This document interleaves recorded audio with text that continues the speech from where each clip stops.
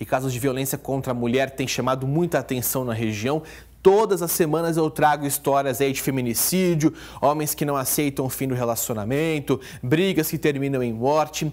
O detalhe é o seguinte, pessoal: o número de solicitações de medidas protetivas em Rio Preto aumentou 25% esse ano em relação ao ano passado, viu?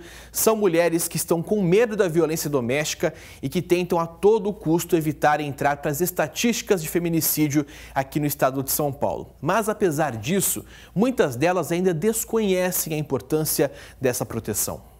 Medo, perseguição, angústia, uma sensação de que algo ruim pode acontecer a qualquer momento. E a gota d'água foi quando eu cheguei na minha casa e eu não tinha condição de descer do carro para entrar na minha própria casa.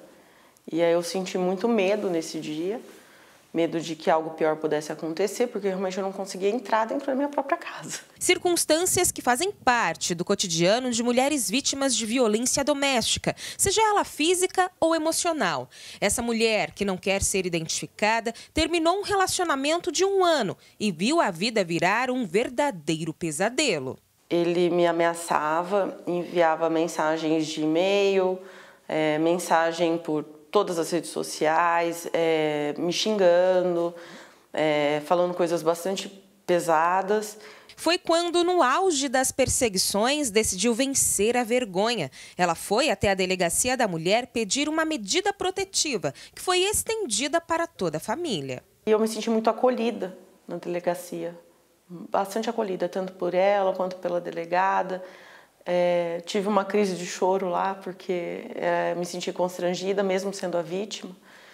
E, elas me acolheram, me tranquilizaram e eu sinto sair de lá bastante calma. Como o próprio nome já diz, a medida protetiva tem como objetivo garantir a segurança dessas mulheres. Em Rio Preto, o número de pedidos registrou um aumento em relação ao ano passado. Até agora foram registradas 576 medidas protetivas aqui na Delegacia da Mulher. Número 25% maior do que no mesmo período do ano passado. Nos seis primeiros meses de 2018, foram aproximadamente 4 460 solicitações, somando 921 em todo o ano.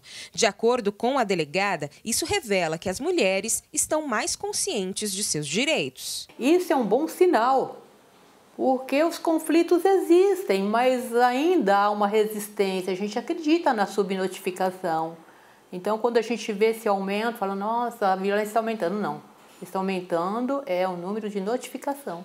Direitos que são essenciais para que, em caso de necessidade, outros mecanismos também possam ser utilizados, como o aplicativo SOS Mulher, lançado esse ano e que permite que as mulheres com medida protetiva acionem diretamente a Polícia Militar. Por conta de a gente já saber o local que ela está e que é uma situação de perigo, não passa na triagem do 190, não vai cadastrar o local, o nome da mulher, porque já vem pelo aplicativo todos os dados.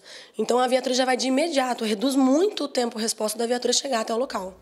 Tem que denunciar e denunciar com certeza, viu? Quem é de Rio Preto, Delegacia da Mulher funciona de segunda a sexta, abre às 8 da manhã e vai até às 6 horas da noite. Aos fins de semana, a recomendação é a seguinte: mulheres que precisarem de atendimento, que se dirijam até a central de flagrantes, viu? E as mulheres de outras cidades da região procurem a delegacia e denunciem caso estejam sendo vítimas aí de qualquer tipo de ameaça ou então de agressão, seja ela física, seja ela verbal. Tem que denunciar sim para evitar aí o aumento das estatísticas quando o assunto é a violência doméstica.